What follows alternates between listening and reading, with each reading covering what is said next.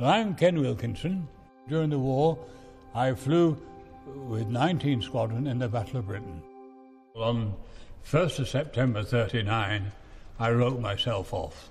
I thought you've got no chance of lasting through whatever it's going to be because it was quite obvious that the way the Germans were moving, they were going to make a hell of a war out of it. And uh, so I was ready for war. It's our country.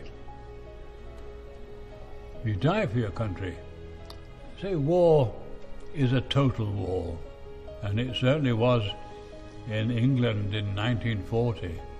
Um, all the stuff that was being thrown at us, and uh, when you think that all the thousands of citizens that were being killed by this, this absurd bombing, uh, still they had to pay for it, didn't they?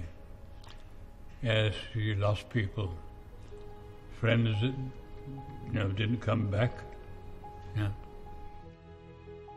You have to get into an attitude, and to make sure that uh, uh, basically you're as cold as a fish, and uh, uh once somebody has failed to return, that's it.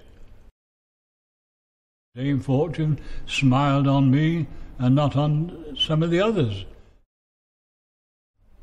I can only say that whoever it was that pooped off at me wasn't a very good marksman. Were you lucky? Oh, lucky as hell.